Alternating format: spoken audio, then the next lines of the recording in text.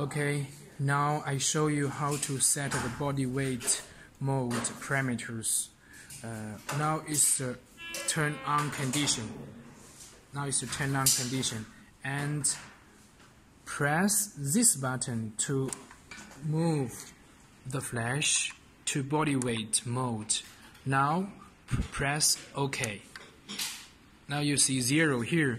Here you can set from 1 to 20. For example, we set 1. And push select button, the yellow one, to set the dose rate. The dose, the dose rate, for example, we set it um, 1. And uh, the body weight, patient body weight, for example, uh, press this one again to set uh, body weight, patient body weight, for example, 60. And press select again to set drug, drug, drug, drug mass, for example, 2.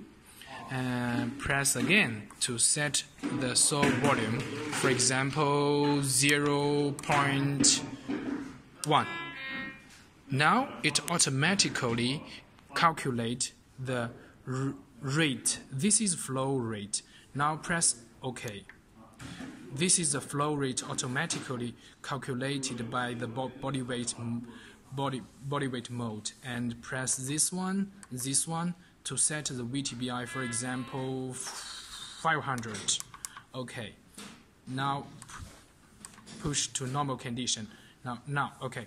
Press this one to start working.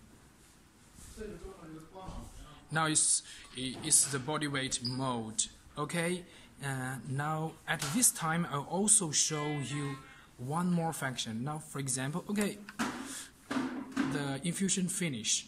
We, I want to clear all the parameters. Just press this button in long time.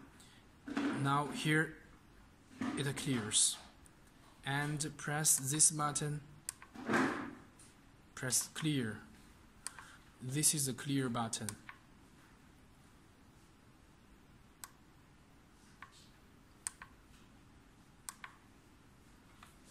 Now okay. Finish